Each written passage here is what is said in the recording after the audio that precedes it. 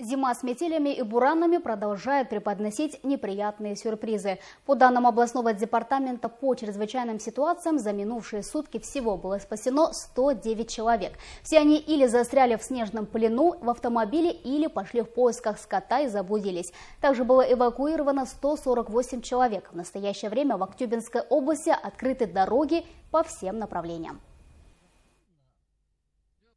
Вторые сутки подряд используем практику эвакуации людей железнодорожным транспортом. Так у нас э, несколько десятков человек были эвакуированы с Мартукского района, а также с Алгинского района, а с Мартукского района в сторону Ахтюбе и с Алгинского района до станции Кандагаш. Вызволено из снежных заносов на расчищенные участки автодорог 99 машин, еще более 200 продолжаются оставаться у нас в снежных заносах, ведутся работы по расчистке их от снега.